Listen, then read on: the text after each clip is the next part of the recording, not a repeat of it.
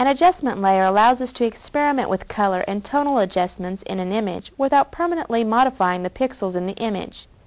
These changes reside within the adjustment layer, which acts as a screen through which the underlying image layers appear. When we create an adjustment layer, its adjustments will affect all of the layers below it. This will allow us to correct multiple layers with a single adjustment, rather than having to make adjustments to each layer.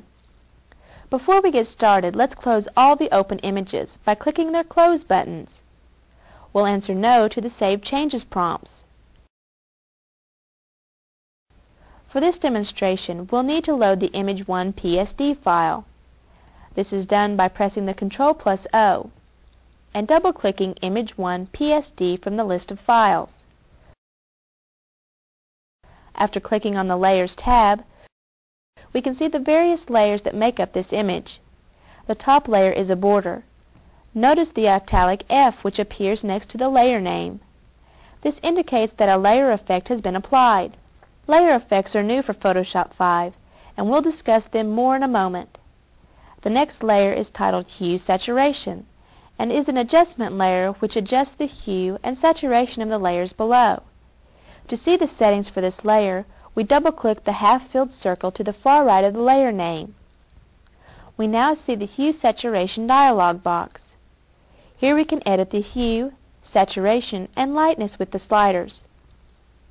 When we drag the slider for the hue, notice the spectrum bar at the bottom adjusts to illustrate how the colors will be shifted. According to the spectrum, all red hues will now be blue, blue hue will be green, and green hues will be red. Let's drag the slider back to 40 and click OK. Another new feature for the adjustment layer is the ability to apply a mask, much the same way we would apply a layer mask to any other layer. Currently the mask for this layer is active. To disable the mask, we right-click the layer name. Then select Disable Layer Mask from the shortcut menu. Now the entire image is affected. We also see a red X across the thumbnail for the layer. We do not want the entire image affected by this adjustment layer, but we do want the text to be affected by the adjustment layer. Because the text is in the previous layer to the adjustment layer, we can simply group the adjustment layer with the previous layer and only the text will be affected. To do this, we open the Layer menu and select Group with Previous. The colors for the graphics on this image can be changed back to normal but the text stayed the same. Let's press Ctrl plus S to save our changes. Let's see what other types of adjustment layers can be applied. We click the arrow on the edge of the Layers palette, then select New Adjustment Layer from the flyout menu. The New Adjustment Layer dialog box appears. Click the drop-down arrow next to Type to see what types of adjustments can be made. We see levels, curves, brightness contrast, color balance, hue saturation, selective color, channel mixer, invert, threshold, and posterize. Many of these are the same adjustments that can be made through the image menu. However, we can change these settings at any time while we are working on our project. We'll click outside the list to close it. Let's click the Cancel button to close this dialog box.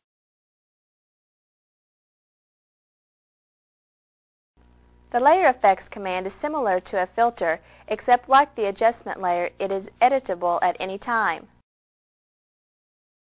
Some of these effects include outer glow, inner bevel, emboss, and drop shadow.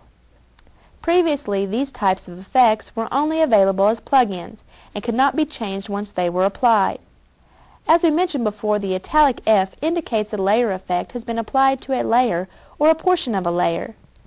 Layer effects can be added to any layer, including adjustment layers. Let's take a look at the effects applied to the Photoshop layer by clicking on it. To see the controls for the effects, we double-click the italic F next to the layer name. We now see the Effects dialog box.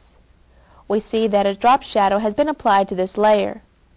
We can adjust the mode, opacity, angle, distance, blur, intensity, and color of the shadow. Since we no longer want this effect, Simply click the checkbox next to Apply and the effect is removed. Let's click the drop-down arrow next to Drop Shadow. We see all the effects we can apply to a layer. Drop Shadow, Inner Shadow, Outer Glow, Inner Glow, and Bevel and Emboss. Let's select Outer Glow. We can see that this effect has been applied also. Let's click OK to close this box. We can apply as many effects as we want to each layer. We can also apply different effects to different parts of a layer simply by creating a selection, then applying the effect. The next layer feature we want to discuss is the Layer Type tool. When we apply text, not only is a new layer created, but a T is added to the layer indicating that it contains text. Like the italic F for the layer effects, we can click the capital T in the Layers box to edit the text after we have entered it. Let's double-click the capital T in the Photoshop layer. The Type Tool dialog box appears. If you get an error message stating that a font substitution will be made, it means that one or more of the fonts used in the file are not available on your computer and will be replaced by an available font. In which case, simply click OK to continue we can edit the text along with all of its attributes. Let's select the P, then adjust the tracking to negative 180. Click OK to close this dialog box. We see the text has been changed and the layer effects have been adjusted accordingly.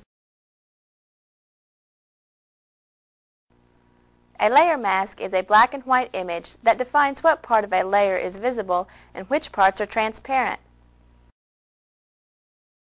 A layer mask is useful when we know what shape we don't want to see in a layer, but do not want to delete any part of the image in that layer. The first thing we need is a selection. We'll load the selection that is saved with this file. We open the Select menu and choose Load Selection. In the Load Selection dialog box, we click the drop-down arrow for Channel and select Alpha 1. Then click OK. Marching ants appear on the screen and we know the selection was loaded. To turn the selection into a layer mask first select the disco ball layer. Then click Layer in the menu bar and choose Add Layer Mask. There are several choices available including Reveal All and Hide All. We'll choose the Hide Selection command. The marching ants disappear as well as a portion of the layer. We now see the layer mask in the Layers menu next to the thumbnail of the disco ball layer. Let's take a look at this for a moment. We see an eye showing the layer is visible, followed by the Quick Mask Mode icon. We see this icon because the layer mask is currently selected. If we were to use the paintbrush now, it would either hide or reveal a part of the layer because we would be painting on the layer mask. Next, we see the layer thumbnail, then a chain link icon. The chain link icon signifies that the layer and the layer mask are linked. This is the default. Any changes we make to the position of one will be made to the other. If we click the chain link icon, it disappears signifying that the layer and layer mask are no longer linked. We'll click the chain link icon again to join the layer and layer mask. Finally, we see the layer mask thumbnail, which is a small preview of the contents of the layer mask. Let's click the layer thumbnail. Notice that a paintbrush icon replaces the quick mask icon. This indicates that the layer and not the mask is selected. Let's discuss some of the icons located on the layers. As we mentioned earlier, the eye icon indicates that the layer is visible. To hide a layer, we click the eye icon next to that layer. We'll click the eye icon next to the border layer, and the layer disappears from the image. We click the empty box, and the image returns as well as the eye icon. At the bottom of the palette we see three icons. If we click the quick mask icon, a layer mask will be created. If we click the page icon, a new layer will be created. And if we click the trash icon, a layer or layer mask will be deleted. Let's merge some layers. We only want to merge the disco ball layer and the background layer, so we must first hide the other layers. We click the eye icon next to the borders layer. then the eye icon next to the adjustment layer, and hide the Photoshop layer as well.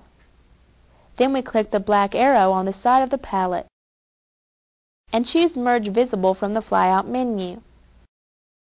The disco ball layer is now a part of the background. We now reveal the other layers by clicking the layer visibility buttons.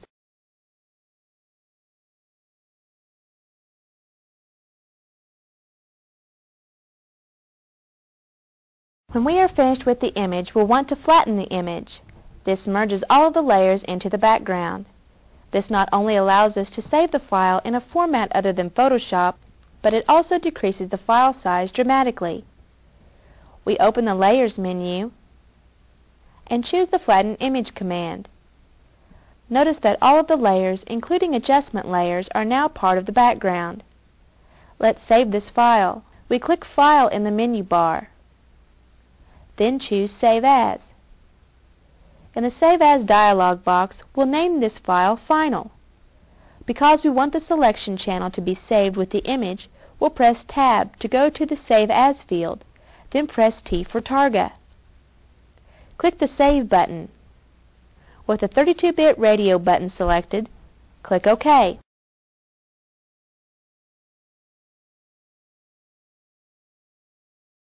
In this chapter, we learned about adjustment layers, explaining what they are and how they are used. We applied an adjustment layer, then used the group with previous option to limit the adjustment to one layer.